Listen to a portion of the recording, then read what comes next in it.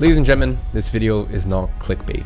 On the six year anniversary of signing my first client back in August of 2016, I'm shutting my agency down. Six years of blood, sweat, and tears, a six year journey that took me from a broke high school student to a multi-millionaire. And most importantly, accomplish the outcome that I had from the beginning, which was take care of me and my mom and then eventually retire her. There's a few things I want to talk about in this video. First, I need to talk about sort of where I'm at in my career and how my different businesses slot into my vision. Second, I'll explain why I'm actually making this sacrifice and what goal it is contributing towards. And lastly, I will explain why I'm still more than knowledgeable after six years to help people start and scale their agency, but also the outside experts that I've brought into my e-learning company, Grow Your Agency, over the space of the year to sort of fill in in the gaps where I'm just not as sharp as I used to be. Now, I could have quietly shut down my agency and sort of continued on as if nothing had happened, but in the spirit of the last six years sharing my agency journey and my journey, as I said, from broke to multimillionaire here on YouTube, I just thought I'd be transparent and give you guys a full update. So let's start off with the first point, which is kind of where I'm at with my career and how my different businesses slot into it. And in order to explain this, I need to use a concept that I've used in the past, which is market timing and career timing. Now, market timing is basically how good of an opportunity something is considering sort of the market conditions. For example, you could have been an incredible entrepreneur, but if in the year 2020 you started a newspaper company, as in like a physical newspaper company, you probably wouldn't have done very well. Whereas if you were that same entrepreneur in terms of the skill set in the 1980s, you know, you could have been a multi, multi, multi millionaire you know, who knows, even maybe a billionaire. So when it comes to that front, which is market timing, starting and running an online boutique marketing agency is in its absolute prime when it comes to market timing, because now the world is catching up to the things that I was doing back in 2018. And you know, these are really a few key pillars that I introduced all the way at the beginning of 2018. And that's really when I went from making a, you know, a cute few hundred thousand dollars a year to a million plus. And really it's three pillars, which is an all remote team, which I've had from basically day one. This means that you can look all across the globe and hire the best talent and you get to pay them 10 to 20% what you would have to pay someone in the US because quite frankly, it's just living costs, right? Like you could be paying them 20% of what you're paying someone in California and they're living three times the quality of life because of basically just currency conversions and stuff like that. And the best part is you're changing a lot of these people's lives because you're paying them most of the time double what they would be making locally, but now they're making that with you. But you also have the benefit of paying them, as I said, 20% what you would have to pay someone in London, Paris, New York. So that is pillar number one. Pillar number two is the ability to sign clients globally. You know, I was doing Zoom calls. I made the decision summer of 2019. I'm going to do no more physical meetings when it comes to signing a client. It will all be via Zoom. It didn't matter if, you know, back in the time I was living in London, didn't matter if someone was also based in London. I would only do Zoom exclusively. And the last pillar, specialize and focus in on one niche and one service. Now, when I was making $80,000 a month profit at the age of 18 back in, you know, 2018, and I was using these core pillars, I was really swimming upstream. Like I was working against what was industry norms and industry standards. But with everything that went on in 2020, the world changing, your clients will expect that you have no office. They'll expect that you're signing clients internationally.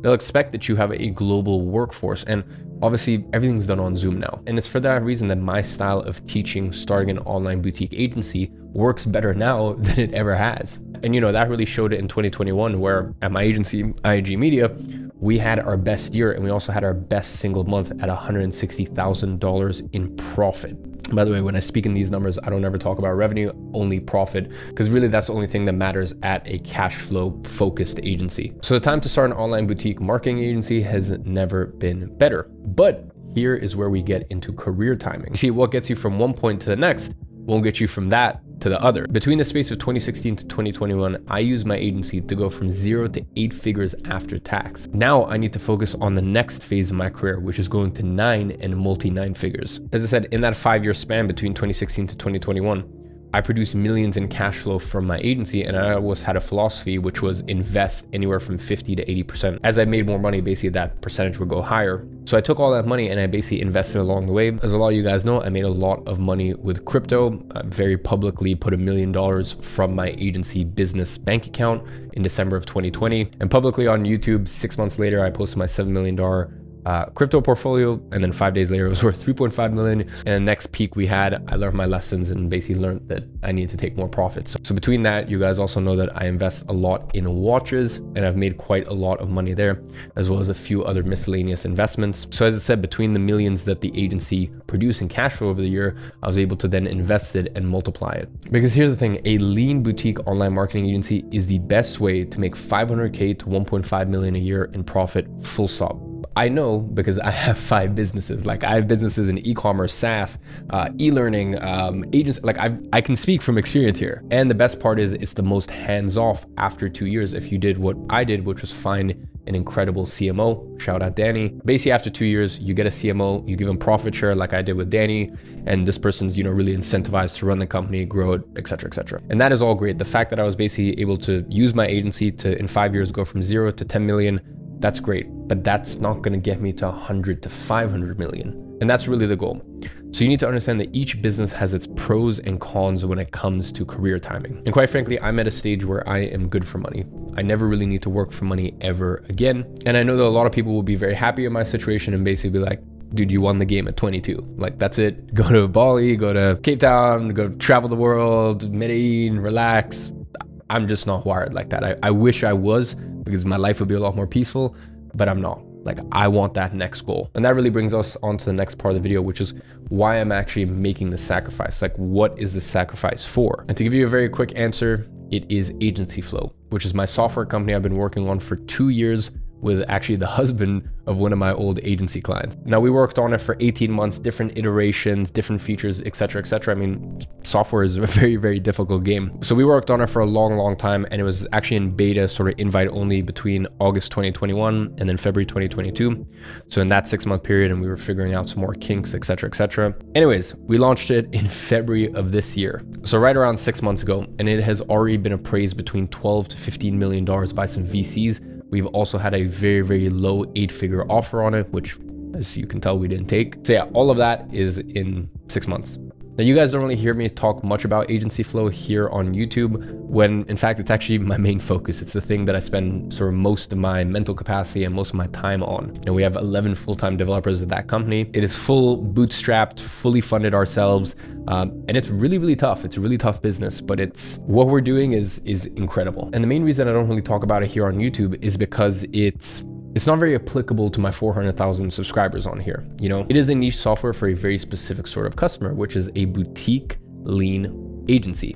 And this is exactly my audience of customers and my e-learning company, Grow Your Agency. Now, I'll be very honest with you guys. As I kind of got to that eight figure level and I was like, I'm kind of good. Like I'm, you know, I'm happy. I don't really need more money. I need the thing that's going to take me to that next point in my career. Because I said, look, quite frankly, my agency isn't going to get me there. You know, my e-learning company, people, some people are very delusional. You will never, ever, ever sell an e-learning company because a person is a face to it, right? You know, it's it's not really a company that you're going to sell. It's cute, you know, from your agency, you might make a few million, which by the way is nothing to scoff at. You know, from your agency, you might make a few million over a few years, you know, uh, e-learning company, don't get me started, it's actually a notoriously difficult business to, to sustain past the first like 18 months, which is why you see so many people on YouTube who have education companies that basically just fizzle out after 18 months. But anyways, that's a separate side topic. The point is I kind of got to the end of 2021 and I was actually considering closing GYA just being honest. I was basically considering closing it uh, similar to my agency and actually similar to another business, which I'll talk about in just a second,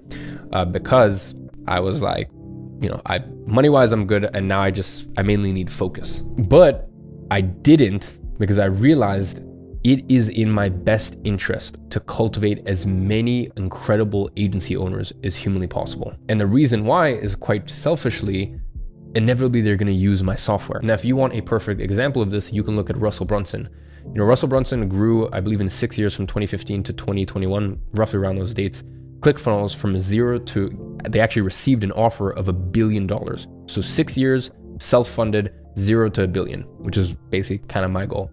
maybe not a billion, you know, maybe like two, 300 million, but you get the point. And a large portion of what Russell Brunson will do, and the reason they were so successful is he will sell, you know, funnel hacking secrets or like he'll sell sort of these educational stuff to get people really excited about funnels. And in the same way, I'm going to continue to make YouTube videos, talk about the thing that I am most passionate about, the thing that changed my life to try to get more and more people into agency world and not just the agency world, but the way that I believe an agency should be run. You know, what's best for you, what's best for your client, what's best for your team. And inevitably, I keep building up all this goodwill and people use my software because they know my software is the thing that's most tailored to them. So that's basically the playbook. And you need to use that playbook when, in my case, just like Russell Brunson, uh, it's bootstrap. You know, you're starting it all with your own money. You you know, you don't want to take thirty million dollars in investment, uh, you know, for uh, whatever percentage of your business because you know you just don't want to deal with that side of the startup world. So yeah, I was actually basically heavily considering closing down the education company uh, last year because of how much time it takes in comparison to how much profits it made. And actually, this year, I'll say it has been doing a lot better, which is cool because we've actually also been able to do a lot more with that money in terms of customer experience. I'll get onto that later. But, anyways, to kind of paint a picture, uh, I'll give you an example.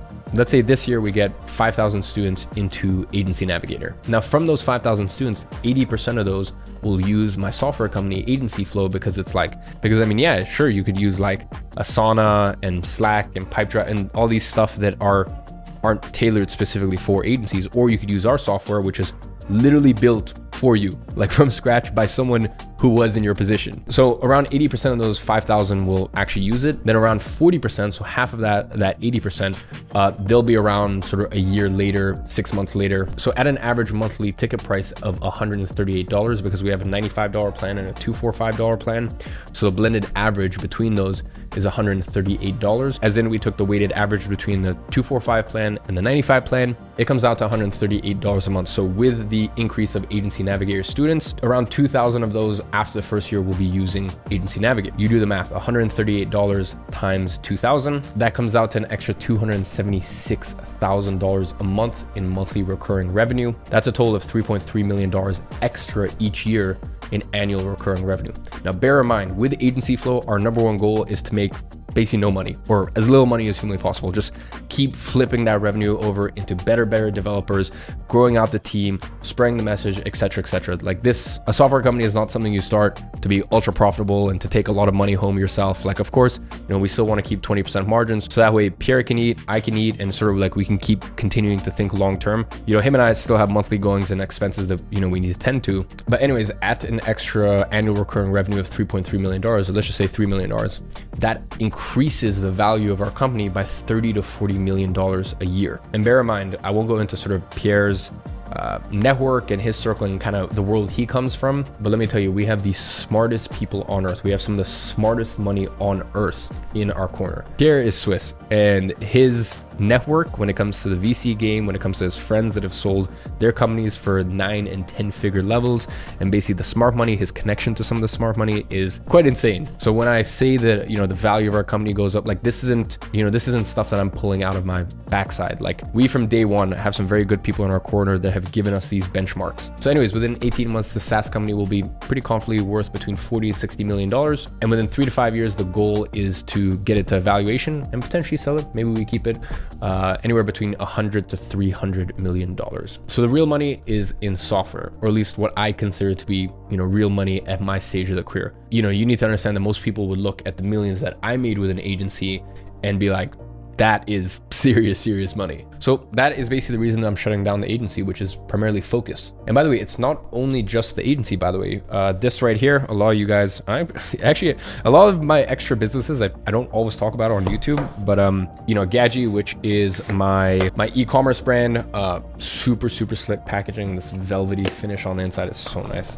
Every time I look at these G1s, uh, which are basically our blue light blockers that we make, I'm even like, I'm even stunned and impressed by them. This is one of our uh, summer collection, a little bit uh, more of an interesting color. But anyways, as much as I love Gadzhi, I'm shutting it down as well. So it's not just my agency. It's I had to look at the businesses that I have and just go, how much collateral damage uh, will there be, and just sort of where does things slot in? And you know, for example, Gadzhi is another one that I love to bits, but I actually just had to sacrifice. And funnily enough, Gadzhi and my agency were the ones that were taking the least amount of actual time out of my day but it's just mental bandwidth. And I've realized as time goes on, it's not so much how much time do you have in a day, because a lot of times you'll find that the big, big CEOs and the billionaires, they're not actually doing that much work. It's how much like clear space do you have in your mind to make good decisions and lead forward your companies. And on that note, my mind is cluttered. My mind is like, is a war zone in here. So I basically had to sacrifice these two companies to just to kind of give me a bit more clarity and focus on the next uh, sort of stage in my career. And sort of the last thing that kind of played a role in this as well is I've been running my agency for six years. You know, it's been a beautiful journey, but it's,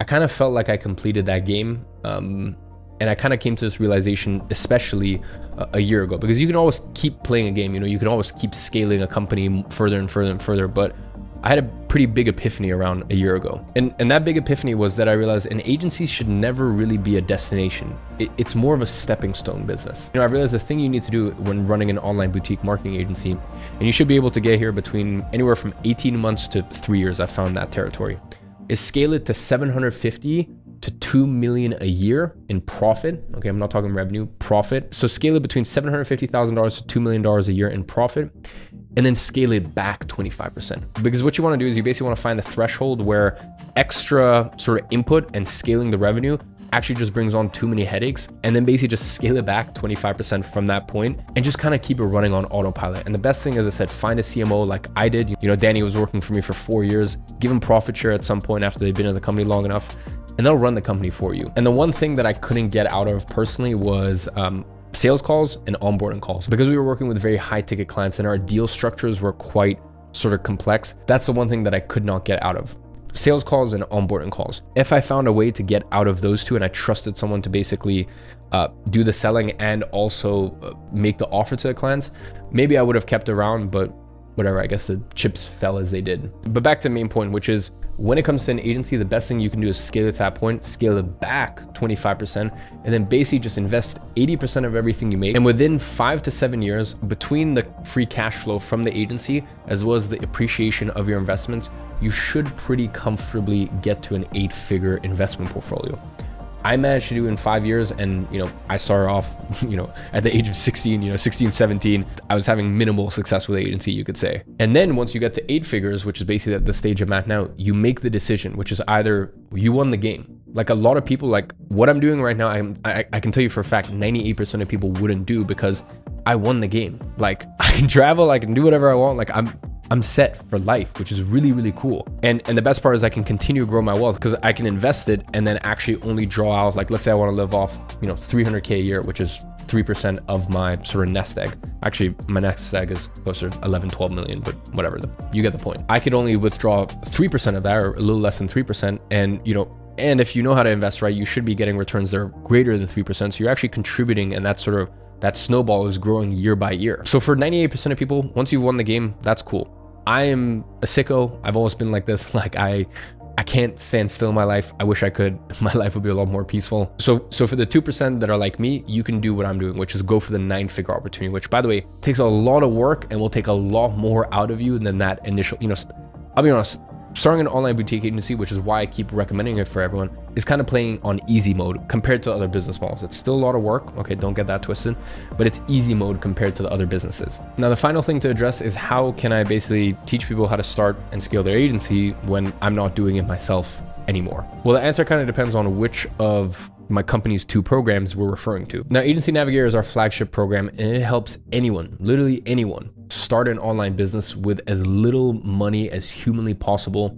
And within, usually we found the range is between six to 18 months. If they stick at it, they'll comfortably be making $10,000 a month profit online. Now, me teaching Agency Navigator is kind of like someone who played in the Premier League. For any of you guys, you know, for any of you guys who don't follow football, you know, it's like the British best league. It's like someone who had a long career in the Premier League and now they retired and they're coaching their sons Sunday league football. Like it's just to get to 10,000 a month and I'm really not trying to downplay it or even 20,000 a month. Like I'm not, you know, I, I understand. I remember back in those days when it was, it seemed like such a massive feat, but for me to teach someone to accomplish five to 10% of what I accomplished monthly in my agency career is not very difficult. And, and I'll just be very honest, to get to 10, 15, 20,000, it's, you can do 90% of things wrong and still get there. To get to 100,000 a month, uh, profit with your agency, like every all cylinders need to be firing correctly. So that is a lot more difficult. Now, the only thing that changes year on year is service delivery. And no matter what program I make, I work alongside my team anyways to sort of help formulate that phase of the program because obviously they're in the trenches working with our clients. And inside that program, we currently have two coaching calls. It's actually going to four coaching calls this month. And those coaches are in the trenches in their agencies and bringing that expertise back to teach about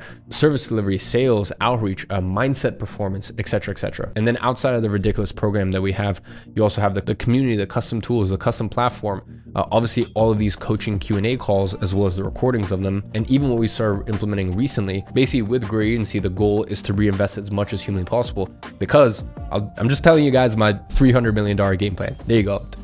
Full transparency. Grow GYA and help nurture the best agency owners on earth that are loyal as hell to AgenciFlow, my software company, because they're like, okay, this is the best solution for us. But then, sort of the big focus that we need to do at GYA is I'm reinvesting as much money as humanly possible because I want the best agency owners. Because it doesn't help me if I get, let's say, 5,000 students a year into Agency Navigator and then like 80% of them quit. Like, no, I need as many of them succeeding as humanly possible because obviously I'm a great guy. That's the main reason. But there is a second reason, which is if they win, they will use AgenciFlow and I will sell my company for $300 million in four years. So I'm just being honest with you. Now, with that being said, what we implemented this year was the student success concierge team. So I've actually hired eight people. It's going up to 12 next month to meet demand. So eight people full time. So on a product this cheap, which by the way, I know for some people, Agency Navigator might seem expensive. When it comes to education space, and I mean, if you want to compare it to universities and how much you're going to be spending there, it is blasphemy how cheap it is. It is it is preposterous. So to have a product at that price point where you're assigned a concierge member, like you have a full-time concierge rep. So this person speaks with you on day one of you signing, day 30, day 60, day 90, month six, and month 12. Okay. And you can reach out to them at any point. They're your dedicated concierge. So whatever issues you have, whatever extra support, like whatever you want, they're there to support you. And to do this on a product at that price point for Agency Navigator, usually you only find it for products that are $10,000, $15,000, $20,000, you know, you know, courses, coaching programs like that. So that's another thing that we implemented for Agency Navigator. So that is Agency Navigator. When it comes to Apex, things are slightly different. And that's where I've had to bring in some more external help to really make sure that we are rock solid. Now, Apex is a course mastermind hybrid that helps people get to seven figures a year with their agency. And then I also show people how to actually invest their money to get to eight figures within five to seven years, basically exactly like how I did. And then the last portion of it, I also show people here are the businesses you can start. And from my own personal experience, here's how to do it if you want to go for that nine figure opportunity, just like I did. So it's a very unique sort of program because we're showing people how to make seven, eight, and nine figures. I've done the seven and eight from the agency. Now I'm going for the nine. Now with that program, obviously the first step in that process is getting to 100K a month or, basically around seven figures a year with their agency. And that's why I have a lot of coaches in that program outside of myself. So at the moment, I have four coaches and there are six coaching calls a week in that program. We have sales experts like Paul Daly, who's actually my CEO at Grow Your Agency, he actually ran and then exited a local lead gen agency. So he does call reviews and sales trainings on Monday. We have John Danes, who actually runs an agency doing $180,000 a month, and he works with real estate agents. So he has his coaching call. We have Michael Gardner, who basically sets meetings for agencies with his lead gen agency. So he has a coaching call when it comes to outbound sort of script setting and stuff like that. And I even have Danny, who worked at my agency for four years. He was my CMO. He still coaches in Apex when it comes to everything to do with service delivery. Speaking of Danny, after four years working together, I have allowed him to basically merge our clients that we had left at the end of the agency with his new agency. So he's now gone and done his own thing. Obviously, we're still on great terms. So by the way, if you've ever wanted to work with IAG Media, I know there's a lot of you guys here who have applied to work with us, but quite frankly, we're a very, very, very expensive agency. So if you ever wanted to work with us, I will actually just leave Danny's uh, uh, email right here danny at iag-media.com. You can reach out to him and um, yeah, his agency, not to say that it's cheap or anything, but it'll definitely be cheaper than working with IAG Media. But yeah, as I said, obviously we're still on great terms and he's still coaching for Apex. And then lastly, there are the calls with myself where I will go over the overall structure, hiring, company culture, and basically what to do with your money once you make it, and basically all the stuff that I'm kind of focused on in the stage of my career that I'm at. So as I alluded to earlier, basically all the money at GYA is going back into the business. All the coaches that we have that aren't cheap, considering how much money they're making outside of the coaching gig. Uh, we've got all the improvements to the custom platform. We've got version two of our custom platform actually coming out this month. Uh, we've got the app coming out in the next few months. I don't know any other education company taught by a guru who has their own app. And, you know, I don't know any other guru who invests this much money back into their e-learning company. Obviously, we have the new concierge reps. And then, you know, an initiative that we've been doing ever since 2019. I take a lot of my personal profits from Grow Your Agency and use that to build schools. I actually messaged Alan, the chairman of Pahar Trust. Uh, I actually messaged him a week ago and committed to building my fifth and next school. I'm actually taking some of the GYA team in November to Nepal to visit our first four schools that we fully funded. And by the way, at GY, I have almost 30 full-time employees now. So yeah, payroll is very, very, very expensive. Anyways, all this to say that the focus now, main focus is basically GY cultivate as many incredible agency owners because they will inevitably use AgenciFlow. So as I said, I don't really care too much about the profit margins here. Just as long as both keep 20%, I'm happy. Everything else gets reinvested and tunnel vision for the next goal, which is nine figures. And the last sort of thing I'll uh, mention is for any of you guys watching this and you're like, why do you recommend starting an online boutique marketing agency when you have a SaaS company and an e-learning company. Once again, it comes back down to career timing and market timing. Just remember, in order to create and scale a software company like I did, you basically need a nine out of 10 skill set as an entrepreneur, and you need an eight out of 10 capital, you know, or at least to access then, you know, you'll need investors or something like that. Like it, it's quite expensive to start a software company. And then to create an e-learning company like I did, you know, not just be like a guru who launches a course in the last six months, you know, GYA has been running for four years now. Well, I guess officially, no, sorry. Wait 2019, 2020, three and a half years and and the first year of it i basically just was a guru with a course. Like i didn't really i didn't have a company with all these support systems and a mission etc etc but yeah if you want to start an education company that stands the test of time uh, you're going to need a 10 out of 10 skill set. It's a really tough business actually if you want to last years and years. And then you're also going to need a sort of six or seven out of 10 in terms of investment you know our custom platform that we built costs a lot of money, near seven figures. You know, the custom platform that we built and then now the new app that we're building as well, that's over seven figures in development costs just right there. So definitely do not try to start those businesses when you're first trying to get to just 10K or even 50K a month. Do what is most practical. And that is the thing that changed my life forever. I will be forever grateful to having an agency. It was an incredible, incredible six years that took me to that eight figure level. But now it's time to put my head down, make some sacrifices, and focus on getting to 100 million, if not even hundreds of millions.